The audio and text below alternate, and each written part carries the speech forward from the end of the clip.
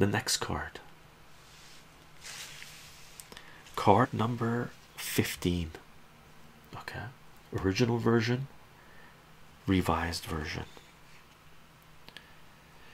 The mysterious traveler with the red bag.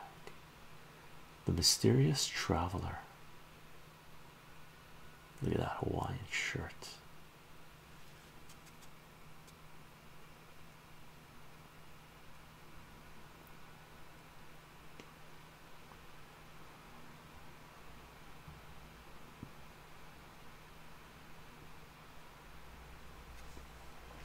Mysterious traveler, card number 15, Oswald in Mexico.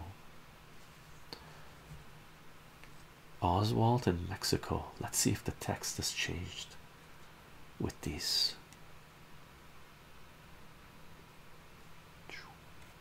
Let's check it out. That seems to be the same. The paragraph seems to be the same. They broke up the paragraph here again.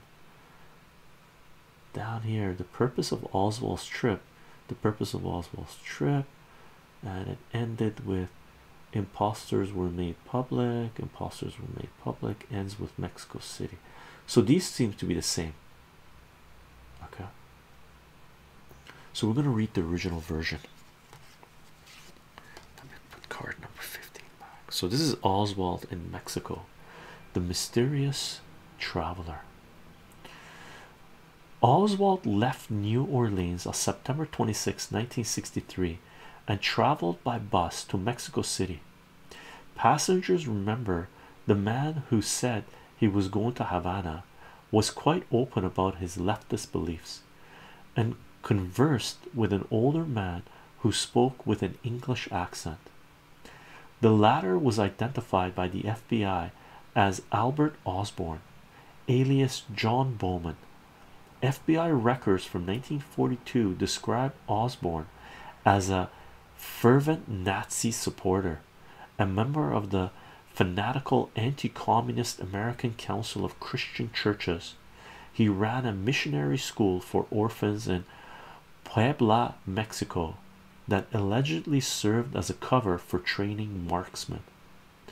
Oswald registered at a Mexico City hotel frequented by anti Castro Cuban exiles, but his activities over the next few days are cloudy.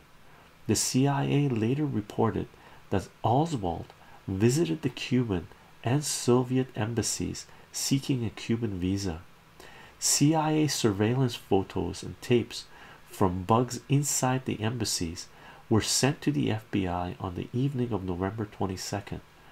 They were of they were of someone else still un, unidentified and the CIA has never released any photos or tapes of the real Oswald at either embassy, though 12 pictures of the impostor were made public.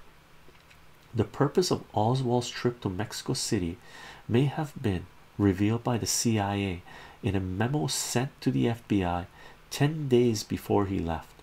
It read, quote, the CIA is giving some consideration to countering the activities of the Fair Play for Cuba Committee in foreign countries. CIA is also giving some thought to planting deceptive information which might embarrass the committee in areas where it does have some support. End quote. The House Select Committee on Assassination sealed for 50 years its 265 page report entitled quote Lee Halsey, Hall, Harvey Oswald the CIA and Mexico City end quote. I wonder if this was released in the 2022 uh, release of the assassination documents.